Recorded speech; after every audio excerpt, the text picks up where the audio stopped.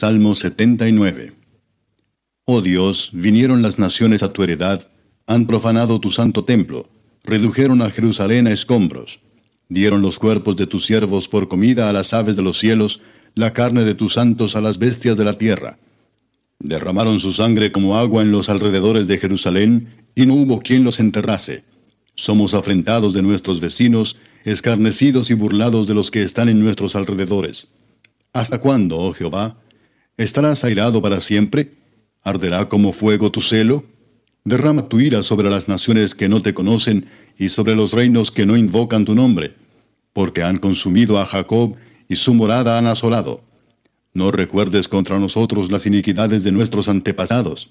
Vengan pronto tus misericordias a encontrarnos, porque estamos muy abatidos. Ayúdanos, oh Dios de nuestra salvación, por la gloria de tu nombre, y líbranos, y perdona nuestros pecados por amor de tu nombre. Porque dirán las gentes, ¿dónde está su Dios?